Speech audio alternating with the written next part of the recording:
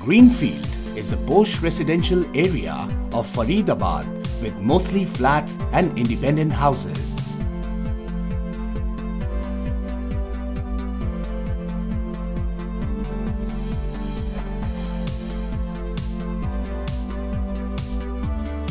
This area, neighbouring Surajkund, is located around the backdrop of the beautiful Aravali's. Its local market takes care of the daily needs of residents. Institutes like Shamrock and SOS Children Village are in its vicinity. The Pushpanjali Medical Center and Saras Clinic can be seen in the area. For recreation, residents can use the big forest area of Surajkund. The area is well connected with gas stations. A new metro line is under construction here.